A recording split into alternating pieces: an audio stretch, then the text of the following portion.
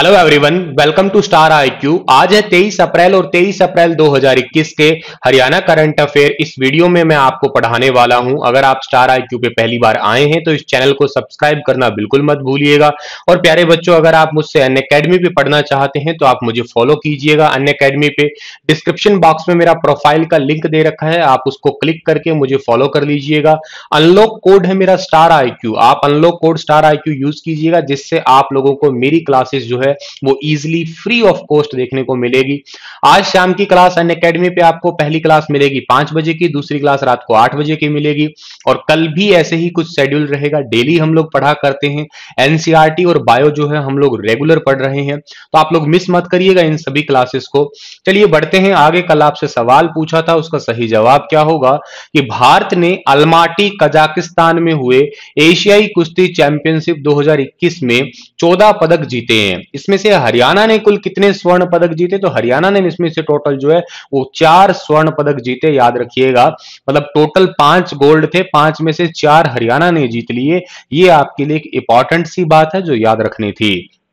आज का पहला क्वेश्चन क्या होगा जी? बेहद इंपॉर्टेंट क्वेश्चन है। हाल ही में हरियाणा हरियाणा की किस पर्वतारोही ने नेपाल की सबसे खतरनाक चोटी, जिसका नाम है लोबुचे, इसको फतेह कर लिया। नेपाल की बहुत ही खतरनाक कही जाने वाली एक चोटी है, जिसका नाम है लोबुचे, और इसको फतेह किया है रिसेंटली हिसार डिस्ट्रिक्ट की रहने वाली, जिसका नाम है अनिता कुंडू। इन्होंने फतेह किया है। सी ऑप्शन जो है इस क्वेश्चन का आंसर हमारा जो है वो बिल्कुल ठीक रहेगा। पर्वतारोही है अनिता कुंडू और इन्होंने जो है ना 6119 मीटर, ठीक है ना? 6119 या यू कहिएगा आप लोग, इकसठ मीटर ऊँचा माउंट लोबूचे। और इसको 24 घंटे लगातार चढ़ाई करके जो है यहाँ पे अभी रिसेंटली इन्होंने तिरंगा जो है वो फहराया है। अनिता कुंडू जो है वो माउंट लोहत्से के अभियान पर निकलेगी जिसकी ऊंचाई है 8,516 मीटर। यह ऊंचाई माउंट एवरेस्ट के लगभग लगभग एक समान ही मानिएगा आप लोग। इनके सहयोगी का नाम रमेश है। इन्होंने बताया कि दुनिया में 8000 से ज़्यादा की ऊंचाई की चोटियाँ 14 है टोटल। और सेवन स्मीट अभियान के बाद अनिता जो है वो चौदह चोटियों को फतेह करने वाली है। चौदह में से दो ऊँची चोटियों को अनिता अभी तक फतेह जो है वो कर चुकी है और तीसरी चोटी की चढ़ाई जो है वो लोहत से होने वाली है। ये पॉइंट याद रखना आप लोग। देखो, ये 12 साल से पर्वतारोहण का काम कर रही है। तीन बार एवरेस्ट पे चढ़ चुकी है। अंटार्कटिका की सबसे ऊँची चोटी विंसन मासिफ पे इन्होंने चढ़ाई करी है। अफ्रीका की सबसे ऊँची चोटी किली मंजारो पे चढ़ाई कर चुकी है। यूरोप की सबसे ऊँचे पर्वत का नाम एल्बर्स है। इस पे चढ़ाई कर चुकी है। दक्षिण अमेरिका का एकांगुआ है। इस पे चढ़ाई कर चुकी है ये। ऑस्ट्रेलिया का जो है कास्टेंस पिरामिड है, इस पे चढ़ाई कर चुकी है। आपने लास्ट ईयर मुझसे पढ़ा था, उत्तराखंड के अंदर रद्दू, रुदुगेरा है। रुदुगेरा के अट्ठावन मीटर ऊँचा एक पहाड़ है, इस पे इन्होंने चढ़ाई की है। उत्तरी अमेरिका के देनाली पे भी इन्होंने संघर्ष किया था। माउंट एवरेस्ट के जैसा ही माउंट मनासलू है, इस पे भी इन्होंने जो है चढ़ाई की है और इन सभी की वजह से इनको तेंजिंग नार्गे नेशनल अवार्ड दिया जा चुका है। 2013 में नेपाल के रस्ते इन्होंने माउंट एवरेस्ट फतेह किया था 17 में चीन के रस्ते माउंट एवरेस्ट फतेह किया था, और दोनों ही रस्तों से माउंट एवरेस्ट फतेह करने वाली देश की पहली बेटी भी बनी थी हरियाणा का काफ़ी इंपॉर्टेंट क्वेश्चन है एग्ज़ाम में आया भी बहुत बार है।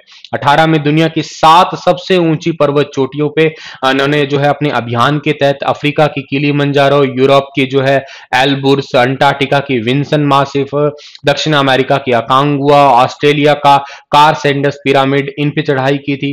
2019 में माउंट मनासलू पे और 5 अक्टूबर 2020 को, मेरा बर्थडे भी है पाँच अक्टूबर को भाई, ठीक है, इस दिन जो है इन्होंने रुदुगेरा जो कि उत्तराखंड में पड़ता है, वहाँ पे चढ़ाई की थी। ये हिसार की रहने वाली है, हिसार का एक गाँव है, फरीदपुर यहाँ की रहने वाली है ये। तो काफ़ी इंपॉर्टेंट है 2001 में इनके पिता की मौत हो गई थी और उस बाद इन्होंने जो है कबड्डी खेलना बंद कर दिया था। वैसे पहले कबड्डी खेला करती थी। 2008 में ये हरियाणा पुलिस में बातौर कांस्टेबल के पद पे जो है भर्ती भी हुई थी। तो इतनी पॉइंट आप लोगों को याद रखनी है यहाँ से और अगले क्वेश्चन की ओर जाते हैं हम लोग।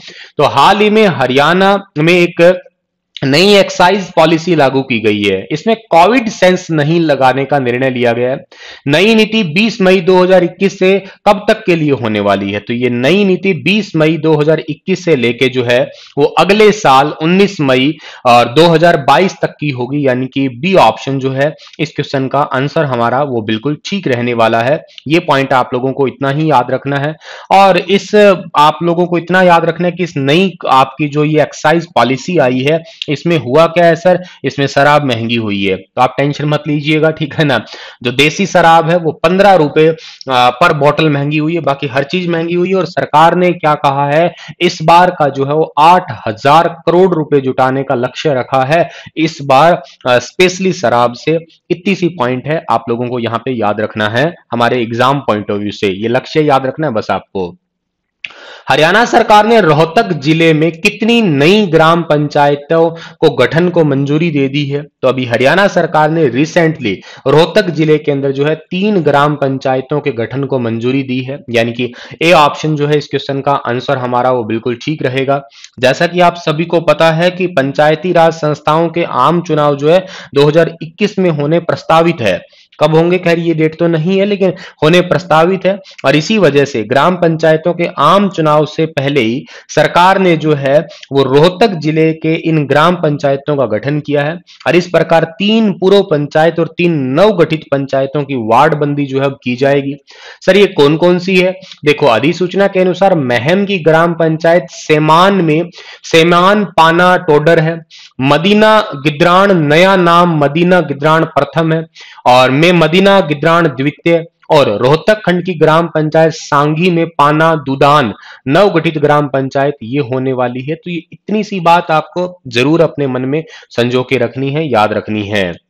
अगला क्वेश्चन आपका क्या होगा कि हरियाणा के किस गाँव की अंतरराष्ट्रीय बॉक्सर पूनम पूनिया ने पोलैंड में वर्ल्ड यूथ बॉक्सिंग चैंपियनशिप में गोल्ड जीता है? पूनम पूनिया जो है, ये रहने वाली है हिसार ज़िले के बुड़ाक गाँव की। और इन्होंने रिसेंटली पोलैंड के अंदर वर्ल्ड यूथ बॉक्सिंग चैंपियनशिप में गोल्ड जीता है भाई। डी ऑप्शन सही रहेगा इस क्वेश्चन का हमारा। ये पॉइंट आप लोगों को ज़रूर याद रखना है।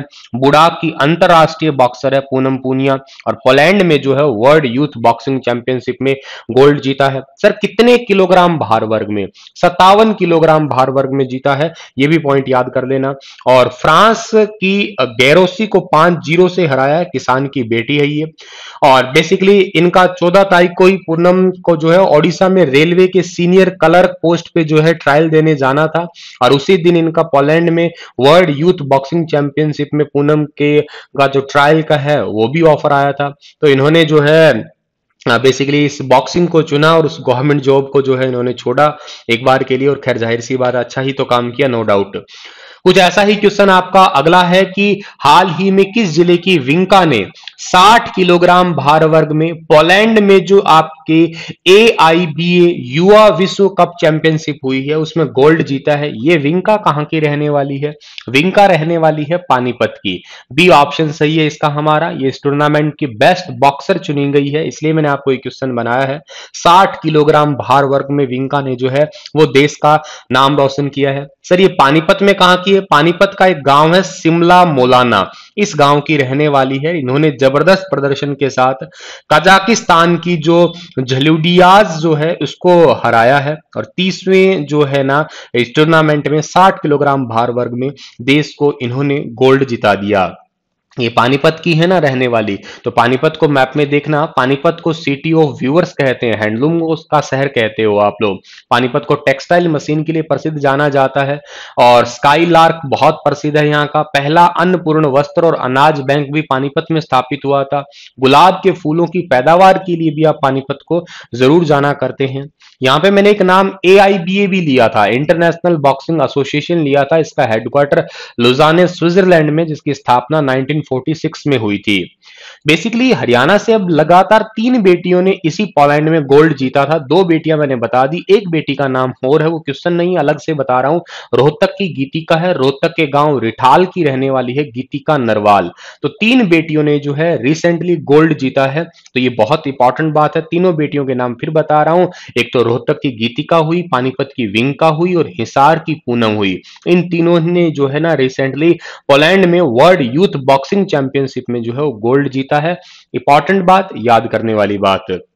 आगे बढ़ो। हरियाणा सरकार द्वारा शुरू की गई हरी हरी योजना के तहत लावारिस बच्चों को क्या लाभ मिलेगा?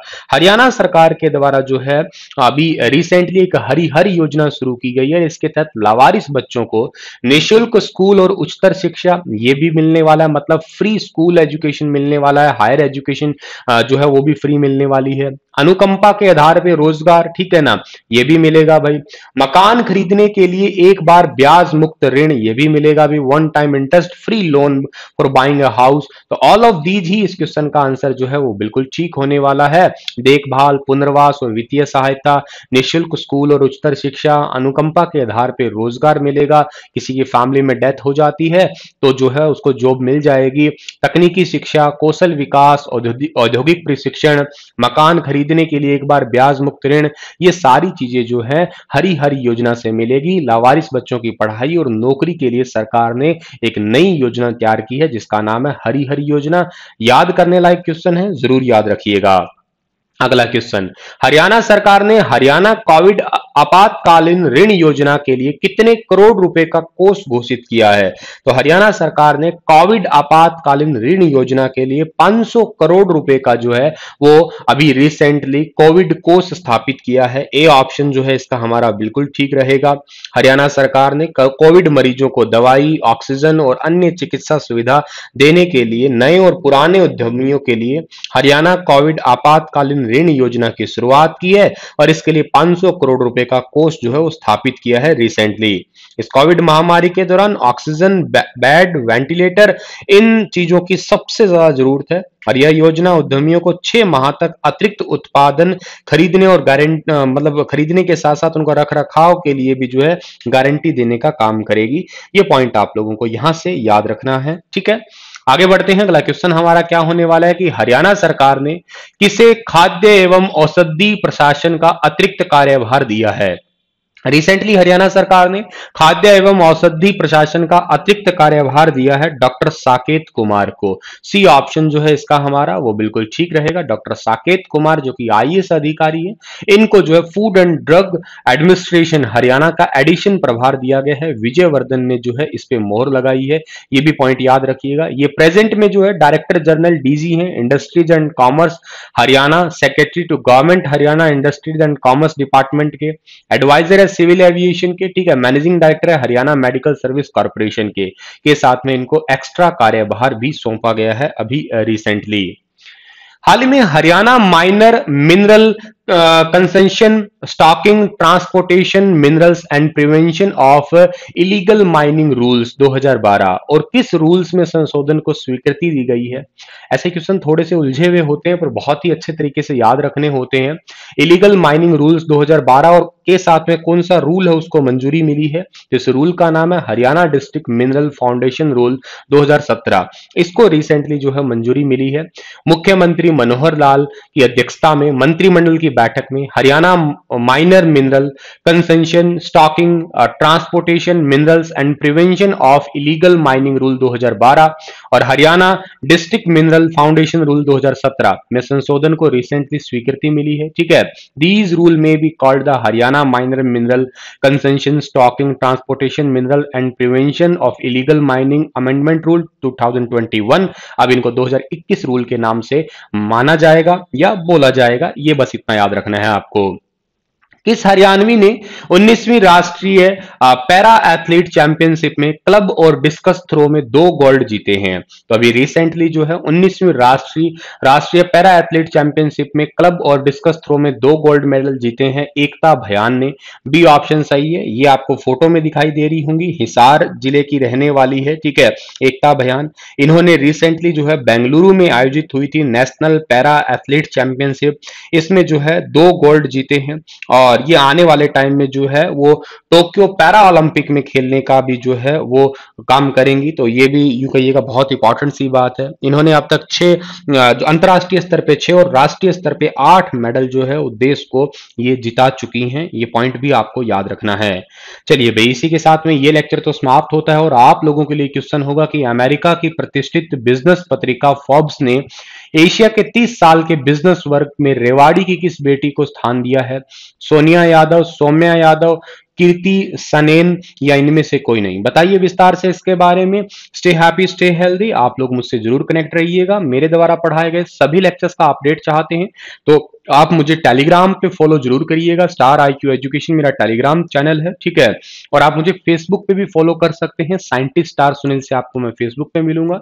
मेरा एप्लीकेशन डाउनलोड कर सकते हैं। एचसीएस के लिए स्पेशली टेस्ट सीरीज़ है वहाँ पे। स्टार आई क्यू एजुकेशन के नाम से प्ले स्टोर पे एप्लीकेशन है। आप उसे भी डाउनलोड कर सकते हैं। Thank you so much stay happy stay health